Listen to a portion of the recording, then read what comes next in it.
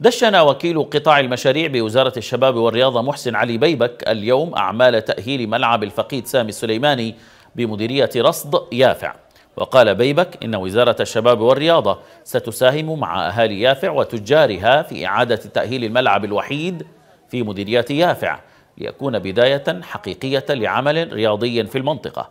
وخلال التدشين الذي أقيم في الملعب بحضور جميع جمع كبير من أهالي مديرية رصد ومكتب السعدي شدد الحاضرون على ضرورة استكمال العمل في الملعب الذي يعد قبلة الشباب ومتنفسهم الوحيد وأوضحوا أن ذلك لن يتم إلا بتعاون الجميع ودعم التجار.